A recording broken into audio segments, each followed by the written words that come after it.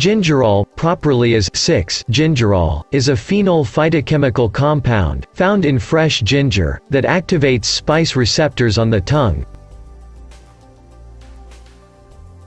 Molecularly, gingerol is a relative of capsaicin and piperine, the compounds which are alkaloids, though the bioactive pathways are unconnected. It is normally found as a pungent yellow oil in the ginger rhizome, but can also form a low-melting crystalline solid.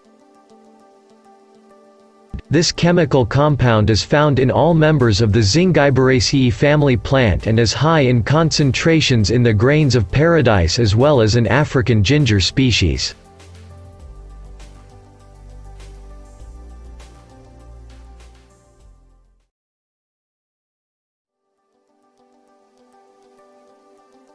In a preclinical meta-analysis of gingerol compounds, anti-cancer, anti-inflammatory, antifungal, antioxidant, neuroprotective and gastroprotective properties were reported, which include studies in vitro and in vivo.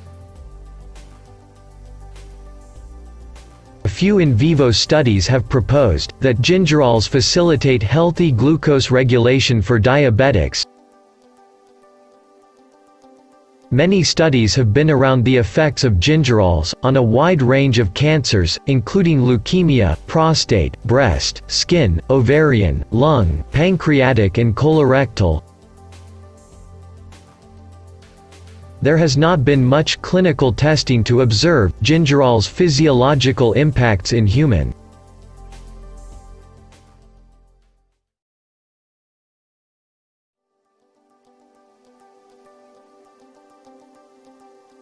Ginger, has been used by humans, for thousands of years, in addition to its dramatic smell and taste, it has been an indispensable part of humanity in health. Traditional use of ginger root, taken between 1 and 20 grams per day, in clinical trials has been determined to be safe, the equivalent amount of gingerol extract, is about 750 mg, because, the amount of gingerol in ginger root is about 5%. 750 mg is the total daily dose, it is usually taken 250 mg three times a day. Safety first. Do not start taking any chemical treatment without protecting yourself. You must first protect your face and hands. Proper lab laboratory wear glasses and gloves. The environment you work should be well ventilated. Flammable and explosive chemicals must be stored away from heat sources and electrical sparks. Please do not apply this experiment that you will watch a little later without necessary laboratory equipment and chemistry knowledge. Always avoid harming yourself and your environment.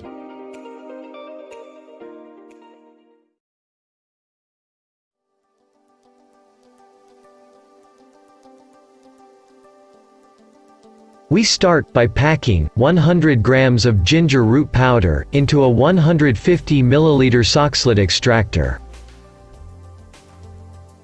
We add 500 milliliters of acetone into the round bottom flask and turn on the heater by putting magnetic fish in it. We will continue processing for about 4 hours after the start of the first cycle.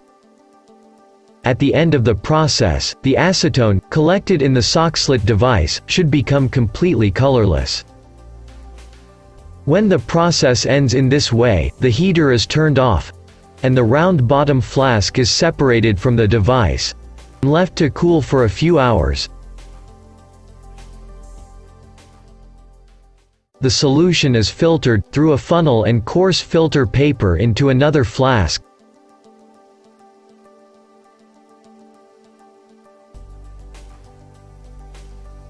in order to prevent mechanical losses, the inside of the round bottom flask, is rinsed with some acetone.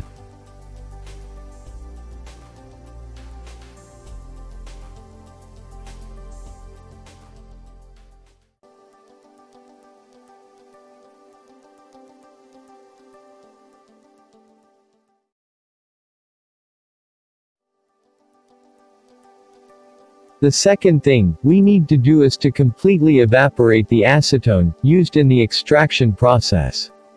For this, we set up a simple distillation device. The boiling point of acetone is 56 degrees. We start the process by turning on the heater. In the meantime, we weigh an empty container of 100 milliliters. As you can see, it weighs 46.91 grams. As the distillation process continues, the extraction solvent continues to fill rapidly into the other container.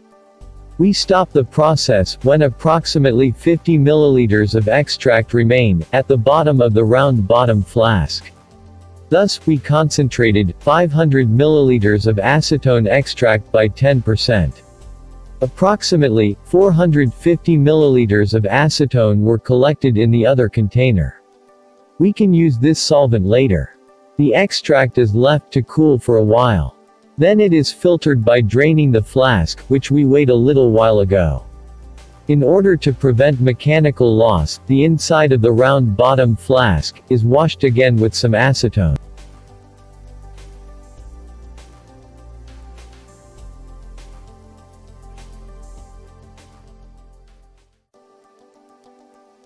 Yes, we finally have about 60 milliliters of ginger extract. The next step is to completely remove the acetone left in the extract. We will do this by using a hot water bath, in order not to burn gingerol. We put the magnetic fish into the flask, and completely evaporate the acetone, in hot water. As a result, an oily and viscous liquid will remain at the bottom of the container. This is gingerol. However, it may still carry some traces of acetone. We put it in a 40 degree oven, for a few hours to be completely sure.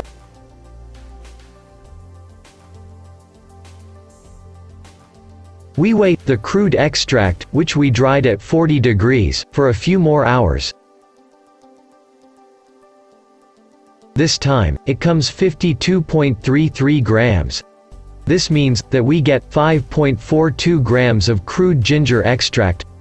Finally, we obtained 5.4% crude gingerol from 100 grams of ginger root.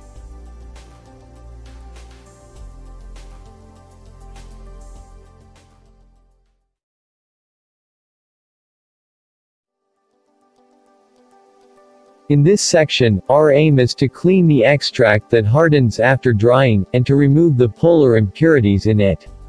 We will first wash the extract dissolved in ethyl acetate with pure water three times, and transfer the polar molecules in ethyl acetate to the aqueous phase.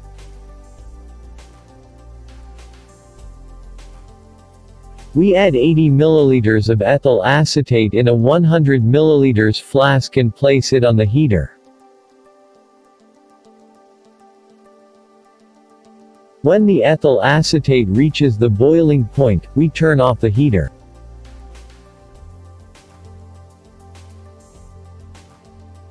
By adding hot solvent into the container with dried extract, we ensure that the gingerol is completely dissolved.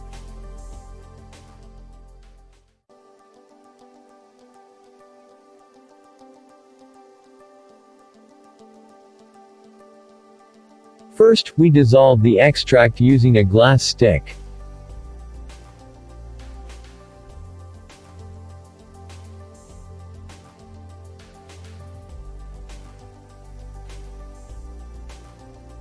Then we mix it for half an hour using a magnetic stirrer.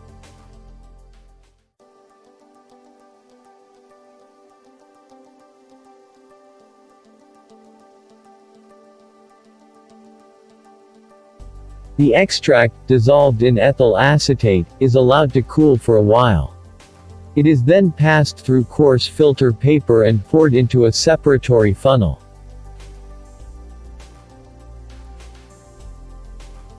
At this point, our aim is to remove unwanted and water-soluble polar impurities in the extract, because gingerol is an apolar molecule.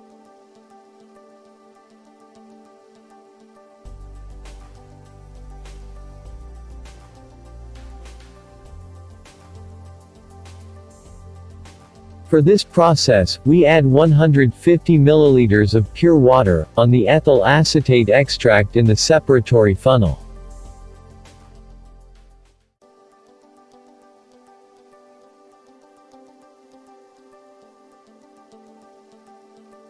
We gently shake the funnel 5 to 10 times.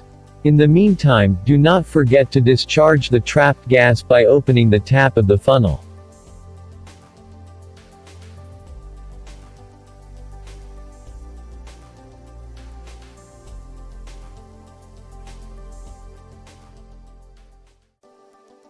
At the end of the process, the water phase becomes cloudy. As the ethyl acetate portion absorbs some water, it appears slightly cloudy too. The separatory funnel is placed on the stand, we wait for approximately half an hour so that water and ethyl acetate phase can be separated well. As seen at the end, the two layers are completely separated from each other. The aqueous portion is carefully transferred into another flask. This washing process is repeated two more times by adding 150 milliliters of pure water to the separatory funnel. Finally, about 450 milliliters of aqueous part collected in the flask is decanted. This section contains unwanted polar impurity. Finally, we will wash the extract, with saturated 30% brine solution. We put 75 grams of sodium chlorure and 250 milliliters of pure water into a flask and mix it to dissolve the salt. Thus, we will dry the remaining water in the extract. At the end of this process, the ethyl acetate extract will get a clear appearance again.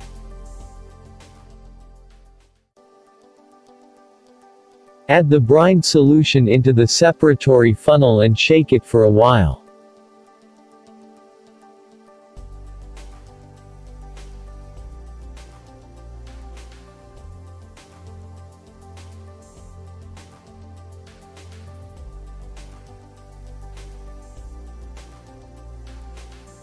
The ethyl acetate portion looks clear now. After decanting the aqueous part, pour the extract into anesthete flask.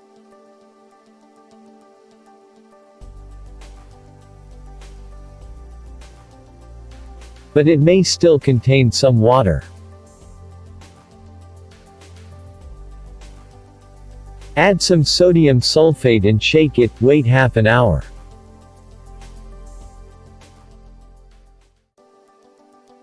Then pour the extract into another flask by filtering through a coarse filter paper.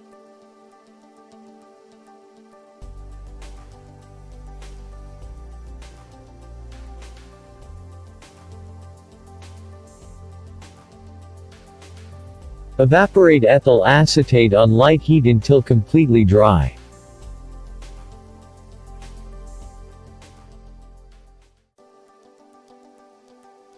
Then put it in a 40 degree oven and continue drying for about 2 hours.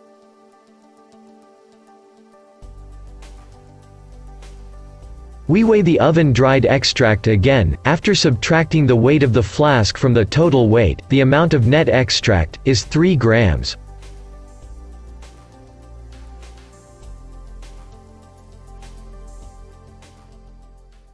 We will need 12 milliliters of pure ethyl alcohol to make a tincture containing 250 milligrams of gingerol at every each milliliter. So, we will dissolve 3 grams of extract in 12 milliliters of hot ethanol and make a 12-dose tincture. 1 milliliter is about 22 drops.